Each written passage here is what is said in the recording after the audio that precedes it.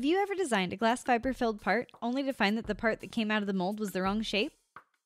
Glass fibers prevent shrinkage in the direction of flow, and when the part shrinks non uniformly, it can warp in ways we don't expect.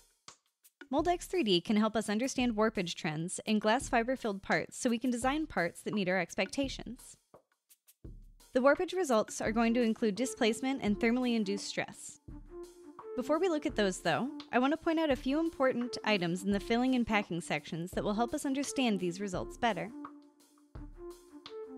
In the filling results, fiber orientation shows us the direction the fibers are oriented in, as well as how strongly they are oriented. A value of one third means completely random orientation, and a value of 1 means 100% of fibers are oriented in the same direction. We can see that the fibers close to the mold surface radiate out from the gate, and the fibers at the core of the part are displayed in blue, indicating a more random orientation. Remember, these fibers resist shrinkage in the direction of their orientation, so that will affect the shape the part takes once the plastic shrinks. In the packing results, we see the volumetric shrinkage result. It shows how the plastic shrinks as a result of cooling down from its molten state to room temperature. The relationship between pressure, volume, and temperature, or the PVT relationship of the material, will vary across the part. Uniform volumetric shrinkage will cause the part to simply get smaller, and a large variation in volumetric shrinkage increases the part's potential for warp. Looking at the cross section of this part, we see that the volumetric shrinkage is higher in thick regions than in thin regions. This makes sense because the thick regions will stay hotter for longer, allowing them to continue shrinking for a longer period of time. And then we get to the warpage results. Displacement allows you to see the part's final shape once it's ejected and cooled to room temperature. The fact that this can be done before you cut steel means that if the part doesn't meet your specifications, you can make design changes without the long lead time and high cost of retooling. This result does not show the direction of displacement, so to help you visualize how the part will change, you can use the deformation tool. By increasing the scale factor, you can see the direction that different areas of the part will move in.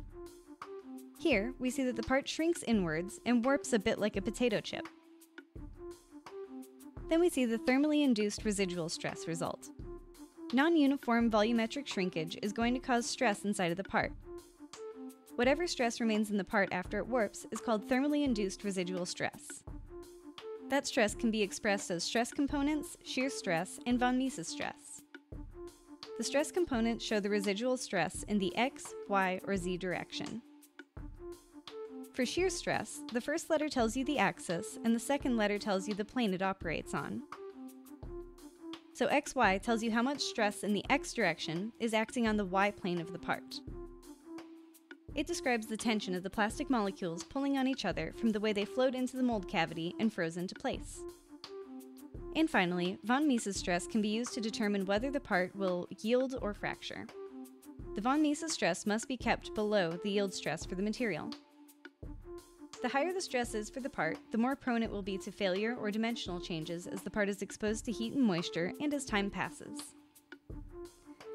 So with Moldex 3D, we can see how the part fills, packs, cools, and as a result, how the final part will look. Before cutting steel, we can compare different gate designs, cooling channel layouts, and part geometries that optimize our parts. This keeps our tooling costs low and reduces the amount of time it takes to bring a new product to the market. If you enjoyed this content, please do subscribe to our YouTube channel and follow us over on LinkedIn. I'll see you there.